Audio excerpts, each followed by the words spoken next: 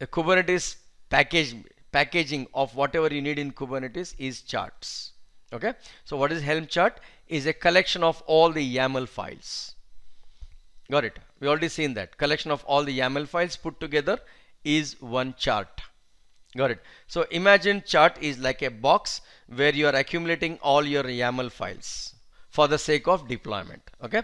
So it allows us to create charts from scratch or in case you want to reuse some of the existing YAML files okay you can always move them into the Helm folder and create a chart out of that okay? Or you can start writing from scratch.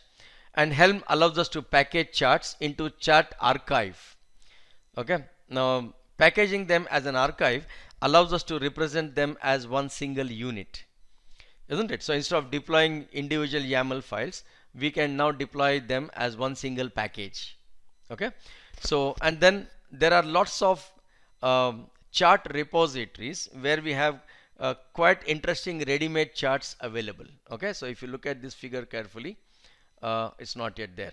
Okay? If you look at this figure we have something called Helm repository. That is where lots of ready-made charts are present. Okay? So Helm repo. Yeah we'll have a look at that. So charts can interact with chart repository where our charts are stored so we can install and uninstall charts into an existing Kubernetes cluster. Now that's something which is interesting. When we say existing cluster, what kind of cluster? Who provided that cluster? Well, it doesn't matter. It can be your cluster running on your desktop or laptop, okay? Or it can be cluster running in your on-premise server, or it can be a cluster which is running in the cloud in the form of maybe EKS or AKS, okay? Whatever. So it works with Kubernetes. That means it doesn't matter where is Kubernetes. Okay. As long as it is configured properly, you'll be able to use Helm to install uninstall charts means collection of all your Kubernetes objects represented as one single unit. Now that is what is chart application, chart based application. And then after you deploy it, you can do the release management of the charts. So basically don't assume that after an application is deployed, okay? You can just forget about it. No there always will be uh, evolvements isn't it? Application will always evolve. There will be changes. There will be bugs isn't it? So you need to have a proper release management and Helm allows us to do that. So these are basically what Helm can do for us. So we have seen what is Helm and we have seen what can Helm do. Now the question is why we should use Helm isn't it so there are lots of pre-packaged charts available, ready to use, available as templates. So just start making the relevant changes and use them. Okay. So these are, you can treat them as readily available blueprints in the repository. Okay. So somebody has put efforts to create the charts, ready-made charts. It's like, it's like very simple. Okay. Just try to understand this.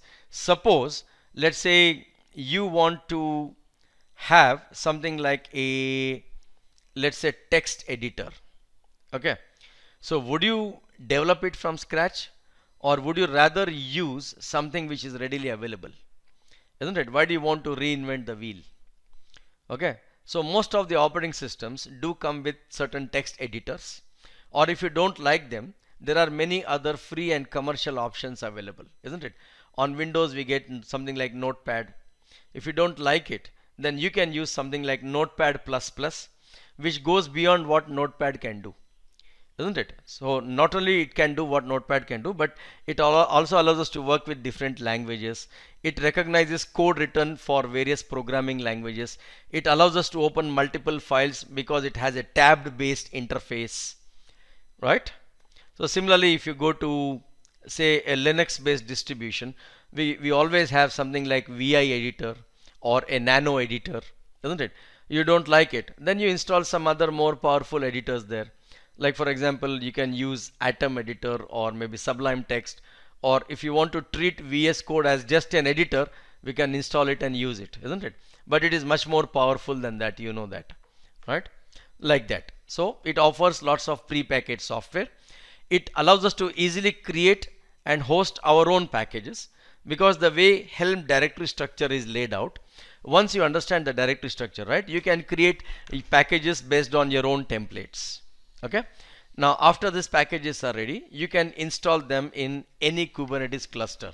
Doesn't matter whether it is uh, on the dev machine or on premise or on the cloud it doesn't matter. Okay? As long as it's a Kubernetes cluster okay Helm allows us to work with that cluster. And then Helm if you have done deployment through Helm Helm right you can query the cluster to see what packages are installed and running. So which packages have been installed and which version of that package is running right now. So you can query the cluster and get all those details okay?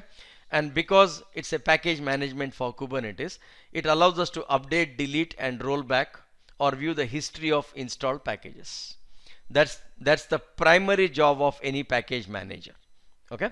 Like for example uh, if you're coming from let's say Python background right so one of the means of doing package management is using pip and through pip we can not only install Python packages, we can also have a look at what packages have been installed, what is the version of that package. So in case you want to upgrade that version, you just have to give that new command called pip install, give the package name and a specific version of the package, isn't it? So any any package manager should allow us to do that and Helm is not different from that.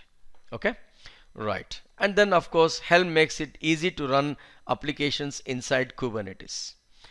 Okay, um, although I'll wait for your views, not today or not immediately in one or two days, maybe after you do practice Helm in a substantial way, you'll actually start appreciating it. Okay once we start doing hands-on you will realize okay this is much better than how we have been working with the bare minimum uh, kube control kubectl command all these days.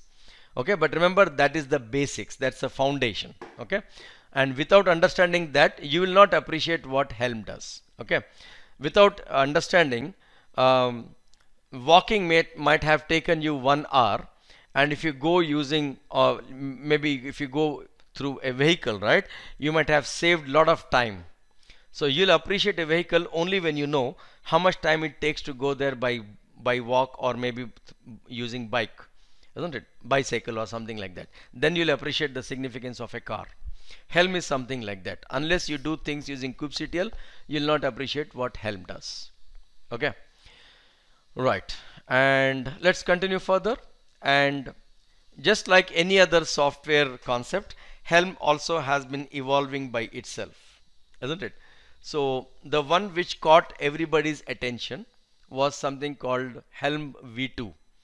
Up to v1, everybody thought it is just another way of working with Kubernetes, okay? But when they released Helm v2, that actually caught everybody's attention and they started appreciating it, okay? But Helm v2, not only it was very powerful, but it also uh, was kind of a security scare because Helm gives us entire access to the Kubernetes cluster okay? And we don't want people who want to do let's say deployment and management of a particular application we don't want to give them access to the entire cluster isn't it? There was something called tiller concept in Helm okay? Helm tiller where or through which the entire cluster was exposed. So earlier in version 2 we're not going to deal with version 2 okay? It's now outdated. We are going to work, work with version 3 okay? And of course you will not have helm on your machine. So I'll show you. Maybe I can guide you through the steps of installing helm okay? The steps are slightly different on Windows on on Linux and on Mac okay? I'll show on one of them and you can easily do something similar. But still uh, why helm 2 was very powerful? At the same time quite scary I'll tell you that okay? So when you install Helm there was something called Helm client CLI which was uh, I mean Helm client which was CLI approach. Uh, it is still CLI okay? But then internally it communicated with a server okay where something called a component called tiller was available okay? Um, it was basically available uh, right in the cluster. Got it? Tiller was running inside the cluster so the Helm CLI client will send your chart to the tiller. Of course, when I say chart, it's basically an archive of all our YAML files packaged together as one single unit, isn't it? So all that were put together and then it was sending them to the tiller and tiller will run these YAML files in the Kubernetes cluster to create the components. Okay. So look carefully where is the tiller. It was basically inside the server. So it received your YAML files and then created the components. Okay. So whenever you modify any of the YAML file, okay, so tiller basically would keep a copy of the changes. Whenever you modify and send a new YAML file, tiller will store a copy of all the previous configurations plus what is deployed right now. Okay. Everything was stored. Got it. And then because it was storing all the old and the current configuration, it allows us to roll back to a specific version. Okay. Because tiller was able to okay keep a history of all the charts or the earlier deployments okay this is what usually it used to happen earlier right so for example you have installed let's say for the first time let's call this as version 1 or revision 1 and then you will send the next set of YAML files and you will say this is my revision 2 and then I want to upgrade the existing version 1 to 2 so for the first time you'll give the command helm install. And the second time you'll say helm upgrade. And tiller would keep track of all the changes which have been happening. So it knows which YAML files were used for revision 1 and which RAM YAML files were used for revision 2 okay so tiller would keep track of all these and because of that okay we were able to do package management using helm okay this was wonderful approach no doubt about it but there is a downside for it what is the downside tiller has too much power inside the kubernetes cluster so if you look at this figure, right, tiller was right inside the cluster. Okay. So it had access to the entire cluster. And if I'm running applications from, let's say, uh, different clients, okay, or different accounts inside the same cluster, now that would be something which is very dangerous, isn't it? So in such case, tiller would have access not only to your application, but also can have access to other applications as well. So this approach used by Helm 2 was discarded in the next version. Okay. So yes, anybody who found this to be attractive did use it. Okay. And if they were very much aware of basically what Helm can do and how it is beneficial as long as you keep track of okay making sure that you are isolating the workload of everyone from each other then that is all good but still tiller has too much power so we want to basically minimize what tiller can do inside the cluster okay so they came up with helm version 3 so in helm version 3 if you compare with this figure right? So what is the difference that you observe here? So tiller is gone in version 3 and whatever job tiller was supposed to do basically maintain the configuration information so that it will be helpful for release management in future. So whatever tiller was doing those responsibilities were shifted at the client side. So helm can do that on our behalf now so we don't have to rely on tiller and this was much safer.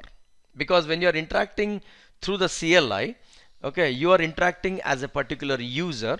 And what can that user do inside the cluster that would be limited based on uh, the access control or the authorization that user has inside the cluster right?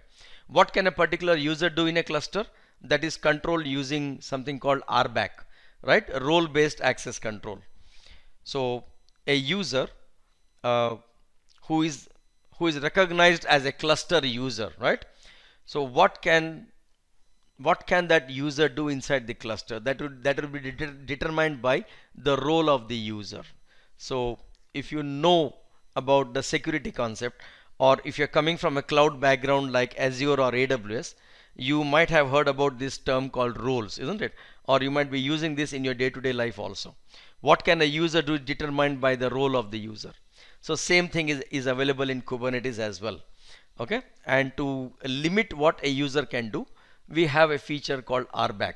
Yeah, we haven't seen that. We'll have a look at RBAC later. Uh, but yes, so that concept is applicable here also. Okay. So keeping that in mind, do you think Helm 3 is much more safer than Helm 2?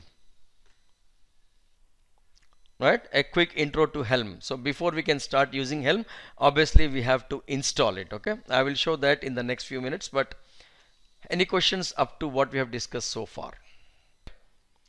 So those who were attending from day one Kubernetes day one do you remember how we have installed kubectl? Anybody remembers that? How we installed kubectl? Uh, no uh, did I did I show you installing it through Chocolatey and did I also tell you that when you have Docker desktop you get kubectl along with it? Those who practiced on Windows you remember these things. When you install Docker desktop because Docker desktop comes bundled with Kubernetes right? You already get kubectl bundled along with Docker desktop right? So you don't have to separately install kubectl command right uh, but suppose let's say you're working with minikube uh, okay and you don't want to work, go for docker desktop then kubectl is something that you have to explicitly or manually install. So either you can download it and keep it in the path or you can use your package manager to keep that in the path okay? You can do any of the activities. So sbin folder contains executables which you need to have administrative privileges to run. Okay? So that's the difference between bin and sbin so for example if I want to find out where is python okay? So I can say which python. Okay? It says python is in user bin whereas helm has went into sbin sbin means basically super user S means super user, super user bin. So unless you have administrative privileges, you will not be able to run the utility or the executables which are there in S bin. But then yes, if I am in a group of sudo, then I have administrative privileges, right? There you go. So this is basically, these are my groups. I am in the group of sudo. That means I have administrative privileges. Now since I have administrative privileges, I can use the uh, executables of sbin okay?